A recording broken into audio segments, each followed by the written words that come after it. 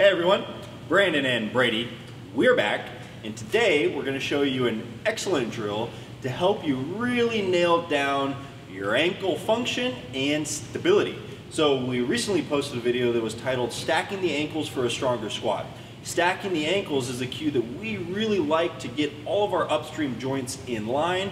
Uh, it kind of bypasses the knees out cue, uh, and it's one that uh, allows us to feel a full connection through the ground when we are rooting. So uh, this is a drill that you can do for prep work or to really understand that cue better.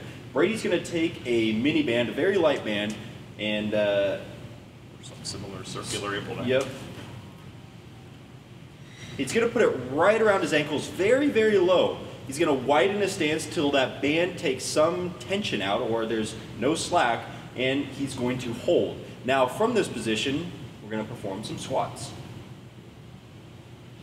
This is a very common exercise, uh, or there is a very common exercise that we see people do, and that's with the band around the knees. Nothing wrong with that one. This one's just slightly different.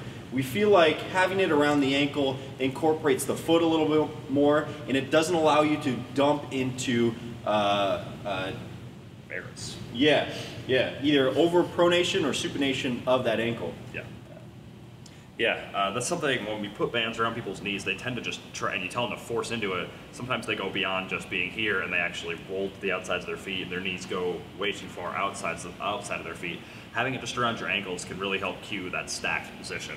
Yep. And squatting with a, with a band around your knees is quite a bit more unnatural than this is going to be because you have to keep a lot of tension out the entire time, even when you're standing, which maybe isn't something we want to do when we squat. This exercise should feel very, very normal, and uh, when you take it to go squat or deadlift, you're going to feel the difference in both your foot function and your ankle stability. All right, Brandon and Brady signing out.